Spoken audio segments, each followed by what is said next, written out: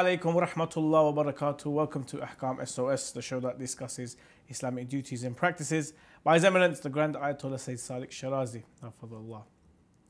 Inshallah, this season we'll be also looking at different other maraja and their verdicts on similar topics. Joining me, as always, is Sheikh Ali Maash. Assalamu alaikum, Sheikhna. Wa alaikum assalam wa rahmatullah. How's your Muharram going so far, Sheikh? You must be busy uh, reciting and going to majalis and everything. Alhamdulillah, Rabbil Sheikhna, in Muharram and Safar, the act of marriage, actually, the, the actual nikah, the aqd, um, is it permissible to have the the aqd, the, the just the the nikah, the you know the exchange of vows or, or the, the contract, to have this read during Muharram and Safar? Because Muharram and Safar isn't really a month of happiness and joy, but at the same time, we know uh, that even in the Battle of Karbala, um, Qasim ibn Hassan, alayhi salam, he, his mother wanted him married and was very, very um, you know, persisting that you know he should be married and, and so forth. So, we, on one hand, we have you know the importance of marriage and even a marriage to take place on the Battle of Karbala. On the other hand, we are there as the Shia community mourning and grieving over the death of Abu Abdullah Hussein. During Muhammad, uh, Muharram and Safar, can we actually have an aqd, uh, a small, I'm not saying to go out and celebrate, but I'm just saying maybe two people want to get married, can we have the nikah ceremony done? Um, you know, this uh, Sayyid, Ayatollah Sayyid uh, Sistani, Hafidullah, does he have something to say on this regard? إن شاء الله أعوذ بالله السميع العليم من الشيطان الرجيم بسم الله الرحمن الرحيم الحمد لله رب العالمين وصلى الله على محمد وآله الطيبين الطاهرين اللهم صل على اللهم صل على محمد وآل محمد عظم الله أجورنا وأجوركم um, With regard to this question about uh, having uh, the nikah contract or the marriage contract during the Muharram and Safar uh, season, which is the season of Aza and lamentation on the martyrs of Karbala and Ahlul Bayt alayhim salam, Ayatollah Sistani would mention that it is not appropriate for an individual to have such uh, acts in these munasabat and occasions, in the sad occasions, uh, which is not suitable for, for these occasions. Um, however, Ayatollah Shirazi would mention that um, there's a hadith which says يحزنون لحزننا. The hadith it says that the the Shias are the ones who would um be sad in our sad occasions. In other words, in their martyrdoms, we are sad. We uh, establish aza, perform azadari, and so forth. So any kind of um, the, the, the scenes and, and such like of happiness should be not in this in these two months of Aza. Uh, but he says, Ayatollah Shirazi, that if it's just the aqd itself, just to make this young man to this young woman halal, instead of na'udhu billah, falling in haram, then just the aqd by itself, without any kind of uh, celebrations, uh, in this case it is allowed, yes, there's no issue with it. Sheikhna, previous episode we were looking at backbiting and we discussed uh, backbiting. What should one do if he's hearing someone backbite and so forth? Let's continue our um, discussion.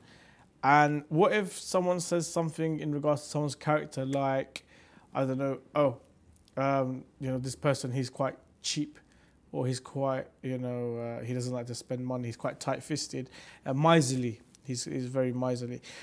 Does this substitute for backbiting, or is that no? It's not backbiting. You see, even these type of statements um, is not permissible, and because it may lead to insulting this mu'min, and um, the mu'min has a hurma, has a sanctity. So we cannot breach, have you know, reach that stage in which this sanctity is, is in, in somehow taken away from this mu'min. So we have to uh, avoid breaching the sanctity of the mu'min and respect. And the best way is to always use the وَقُولُوا لِلنَّاسِ حُسْنًا as the Quran says, and say good words uh, to the people. So slandering, backbiting, lying, cheating, and so forth. These are we have to, as a mu'min, stay away from this type of akhlaq and this type of mentality of always trying to slander people, to talk against people. You know, um, our gatherings should be always bringing these individuals up and talk about it, either positive or negative. We have to try to avoid um, talking against others. So we talk about what is beneficial for us for the dunya and the akhirah. Shaykhna, what if you know we're talking and um, you know we don't mention anyone's name? So you know we're talking to a third party and we're talking about an individual, but we don't mention his name, so no one really knows who this individual is. And then you know if they were to go investigate, they would be they would easily be able to find out who uh, was being slandered or who was being backbited about. What is I mean, does that constitute as backbiting as well? I, there was no names mentioned. As long as there's no names mentioned, I mean, even some ulama in their lectures or lessons would mention that someone, let's say, came to me and he said such and such, or I saw somebody doing such and such. They don't bring the name of that individual. So, uh, without the name, that's fine. As for us to learn a lesson that there was an individual who committed this act of wrongdoing or sin, and then, you know, there was a consequences afterwards. So you just bring this story without mentioning the name, that's fine. But to mention the name either directly or indirectly, that is something which you would have to avoid. What if the individual gave permission for people to backbite behind him? Said, "Yeah, I don't care. Um, you know, you can backbite behind me. I, I don't really. I'm not. You know, it doesn't mean anything to me." It is still not permissible because that is against uh, the uh, um, the hurma of the mu'min, uh, the sanctity of the mu'min. Now, at the end of the day, he is a mu'min, he's a believer, although he did these things, let's say in his private life, but he doesn't mind people talking about it. No. Um, we cannot spread the, the, the fahisha, the act of uh, wrongdoing, into the society that, oh, listen, that individual did something in his privacy and, he, and he's happy with it to be said. No, no, you can't. Mm-hmm. There are limits, there are red lines within, within the Sharia about these things, even if that individual allows for, for, for these things to be spread and said. No. Uh, you cannot spread these things because that might uh, cause for corruption, for the spread of the fahisha and, and, and the wrongdoing. So we have to try to avoid, again, spreading these things, even if that individual he is happy with it and he is satisfied that his story is even mentioned in the newspapers. No, we have to try, try to avoid spreading uh, this type of wrongdoings within the uh, Mu'min community. Ahsant. Shaykhna, what about if you're backbiting like a sinner, someone who, you know, he's a sinner and but who doesn't manifest in his sins and, and his, his wrongdoings, his misdeeds. Um, is backbiting allowed in that situation or not?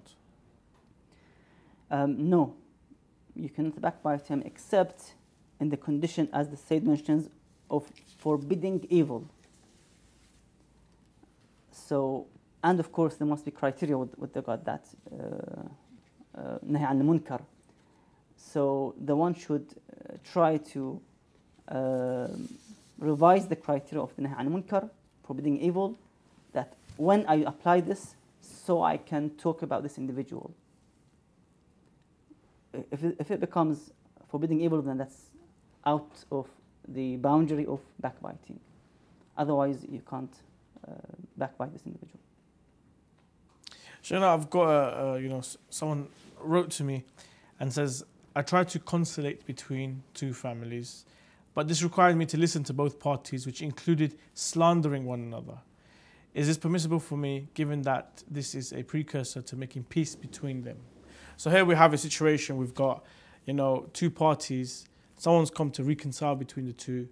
Normally it's, it's a marriage when it comes to reconciliation, but it could be anything. Two parties, an individual's come to reconcile. He goes to one party, party A, to discuss. Party A is doing nothing but backbiting and slandering party B. He goes to party B to discuss and party B is doing nothing but slandering and backbiting party A. This is kind of expected when trying to reconcile and trying to bring two parties back together. Um, is backbiting in that situation acceptable? What does the individual do because he is now, you know, open and he can hear um, the backbiting? Um, the ulama have exemption with this regard that if you want to do sulh and bring two sides, two sides, let's say husband and wife, for example, uh, back to each other, then yes, you can. So, in order to reconcile and bring those two parties together, yes, you can. In this case, uh, there's no uh, hurma or, or, or forbidden or a sin in, in this case because you try to uh, bring uh, to reform and bring those two parties together. So there's no issue with it. Ahsan, thank you very much, Sheikh. And Thank you to all our viewers for watching Ahkam SOS. If you have a question that you would like to ask Sheikh, you can contact us on Ahkam SOS at imamhussein3.tv. Inshallah, the address should be at the bottom. And we look forward to hearing from your emails. And inshallah, we'll be seeing you on the next episode of Ahkam SOS. Assalamu alaikum wa rahmatullah wa barakatuh.